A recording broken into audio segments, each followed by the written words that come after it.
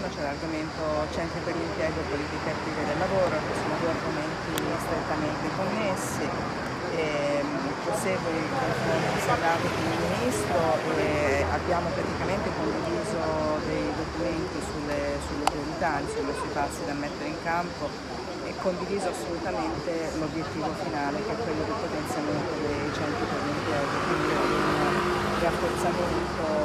quantitativo e qualitativo, quindi non solo un maggior numero di addetti perché rispetto ai nostri partner europei siamo in una situazione di addirittura 10 volte. Quindi quanto personale in più ci vorrebbe? Allora, noi già con il, il governo precedente avevamo un piano di rafforzamento di 1600 unità e quindi partiremo da queste, ma in realtà in, in, in tutto il territorio nazionale noi abbiamo meno di 8.000 operatori e quindi l'obiettivo finale dovrebbe essere quello almeno di raddoppiarli per essere almeno eh, paragonabili diciamo, come rapporto utenti e questo potenziamento al... comincerà con la legge, con la mano prossima manovra, non so se lo questo, poten questo potenziamento sicuramente dovrà essere inserito nella prossima legge di bilancio perché eh, il Ministro, questa è una nostra richiesta anche forte, che non siano risorse eh, non stabili, cioè che non siano ulteriori militari che vanno a lavorare, che vadano a lavorare nei centri, perché abbiamo stabilizzato adesso quelli delle province e quindi rimetterne dentro eh, altri 1600 a tempo certo. determinato, insomma non, non, non ci sembrerebbe un bel, un bel lavoro. il Ministro su questo è d'accordo, quindi eh, sicuramente ci, vuole, vorrà un intervento legislativo perché ci vorranno risorse stabili, ma soprattutto dovranno essere superati, quindi dovrà esserci la deroga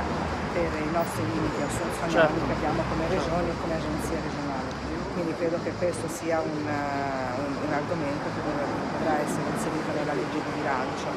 Però, ripeto, l'obiettivo di rafforzare i centri, di potenziarli e ruolo strategico dei centri per l'impiego per le politiche attive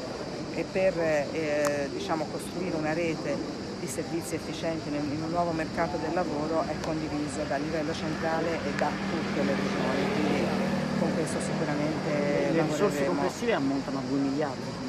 questo è quello che eh, il, il, Ministro da, da, subito ha annunciato, sicuramente sarà un, un, lavoro da fare a step, questo chiedetelo, chiedetelo a lui. L'ultima cosa, adesso il prossimo incontro ci sarà un, come vi siete lasciati? Ci siamo lasciati con eh, un, la, la, necessità di integrare, perché per quanto sull'accoglibili siamo arrivati oggi con due documenti, uno delle regioni e uno presentato dal Ministro, quindi integreremo questo documento, ma soprattutto ne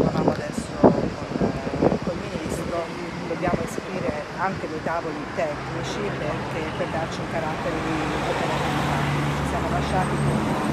con questo obiettivo di condividere i documenti e quindi poi di eh, passarli ad altri, ad miei colleghi, ma soprattutto di un tavolo, tavoli tecnici sulle varie tematiche. Bene.